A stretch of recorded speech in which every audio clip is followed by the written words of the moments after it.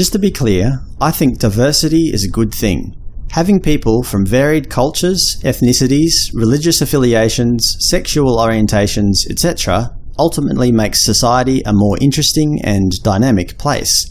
However, this diversity should not be forced, especially in the workplace. Many of my friends are from overseas. They come from various religious backgrounds, speak different languages, eat different foods, and give me an insight into their own particular cultures.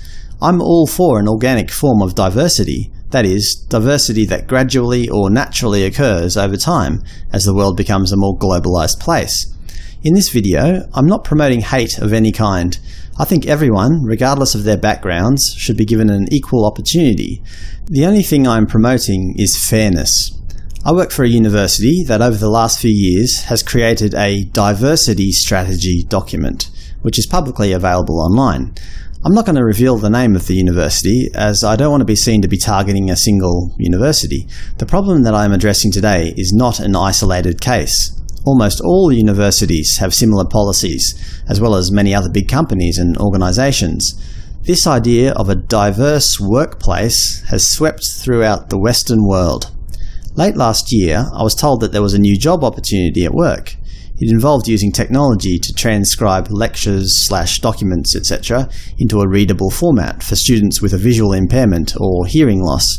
My supervisor at the time told me that it would be a sure bet that I would get the job, as I come from an IT background and I was already a university employee.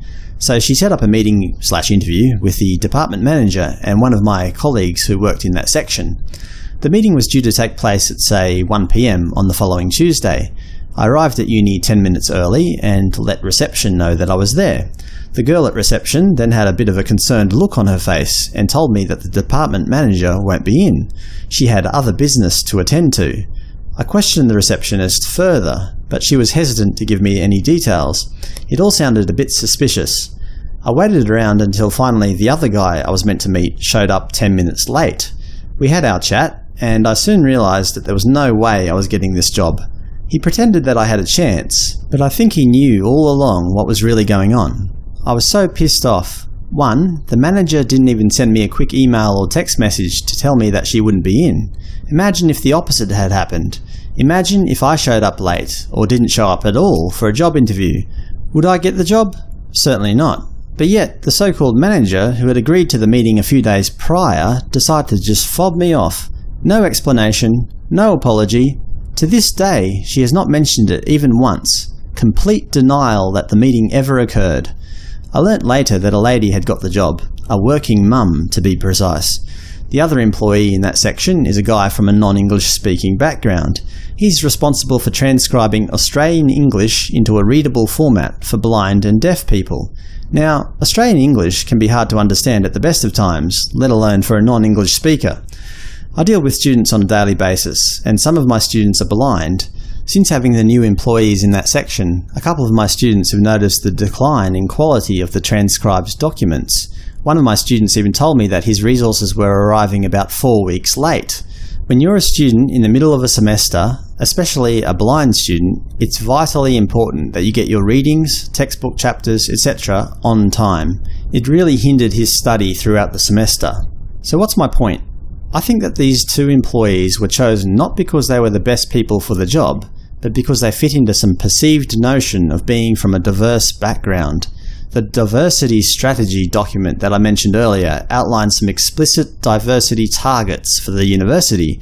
These include 40% of all senior salary package and executive staff to be female, 25% of all academic staff to be female, 50% of all professional staff to be female, increase the number of Aboriginal and Torres Strait Islander staff in academic and professional positions to 2.5%, non-English speaking backgrounds NESB staff recruited and developed in proportions equivalent to their representation in the Australian labour market, there's also mention of people practicing different faiths, people with a disability, generational slash mature aged people, and LBGTI, lesbian, gay, bisexual, transgender, and intersex.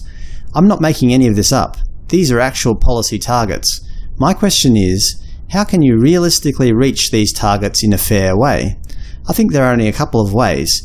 Either you fire people who are not considered diverse, obviously this will never happen, or you only hire people who fit into your predefined notion of being from a diverse background, and I think that's what's happening. All of the new staff in my section are either women or from non-English speaking backgrounds, or both, that is, non-English speaking women. My students have secretly complained, but aren't able to make a formal complaint, as that would be seen as discriminatory. One of my students, who has a visual impairment, requires someone to guide him to the entrance of the men's toilet. However, one of the new workers, due to her religious beliefs and cultural background, does not find it appropriate to do this. So instead, she drops him off about five metres away from the toilet block, forcing him to stumble and bumble his way to the toilet by himself. It was quite embarrassing for him. Luckily, he no longer has to deal with that worker due to a few other issues which I won't go into here. The university has set these targets, and I think managers are being pressured to only employ people from diverse backgrounds in order to meet the quotas. But think about it. If two people have been shortlisted, one English-speaking white male and one female from a non-English speaking background, who's going to be employed? Managers have diversity targets to meet, so of course the female will get the job.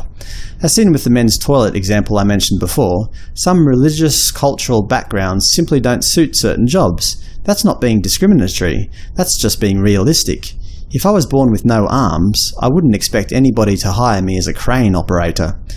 At my last company, a big insurance firm, my manager was a very attractive young lady. She was managing a team of IT experts, did she know anything about IT? Barely. How did she get the job, I wonder? Probably because the company had a diversity policy in place, where they were aiming for equal gender distribution in middle and upper management. This is where the problem lies. Companies aren't truly interested in diversity. They do it simply to promote themselves. In the insurance company's annual meetings and reports, they would pompously announce that they are now one of the most equal opportunity companies to work for. They would smugly state that they have one of the best female to male ratios in Australia. They were proud to have a partnership program with an IT company out of Shanghai, even though we all knew the true reason. Shanghai IT workers are a lot cheaper than Australian ones. It's all an act, a show. It's not about diversity. It's about showing that you are diverse. Diversity is just a slogan. Diversity has been put ahead of fairness. Now, I'm all for anti-discrimination policy, but I think that's where it should stop. If a number of people apply for a computer programming job, it shouldn't matter if they're from a different religion or culture, if they're gay or straight, female or male, intersex or whatever. The best computer programmer should be chosen. To have predefined diversity targets is discrimination in itself. That is, people are being chosen not for their programming ability, but for the colour of their skin, or the language they speak at home, or whether they have a vagina or not. That's discrimination.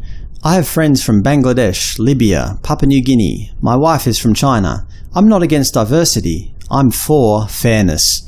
Let's get rid of these stupid diversity targets and bring back common sense instead.